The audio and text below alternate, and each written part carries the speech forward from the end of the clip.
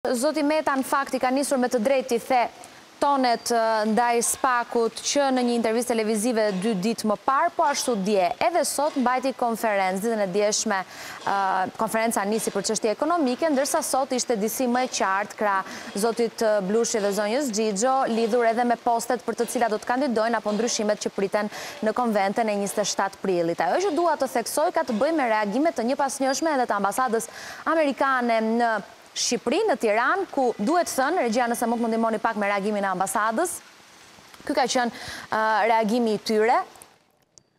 Përshëndesim dënimin nga KLP të sulmeve të drejtpërdrejta dhe të tërthorta kundër SPAK-ut në ditët dhe javët e fundit.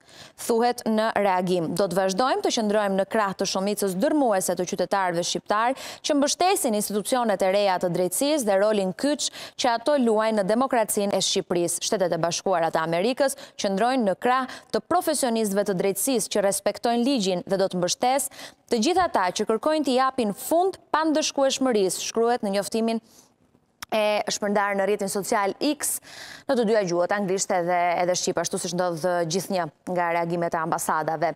Një reagim i drejtpërdrejtë duhet thënë i ambasadës së Shteteve të Bashkuara në Tiranë pas deklaratave të Metës.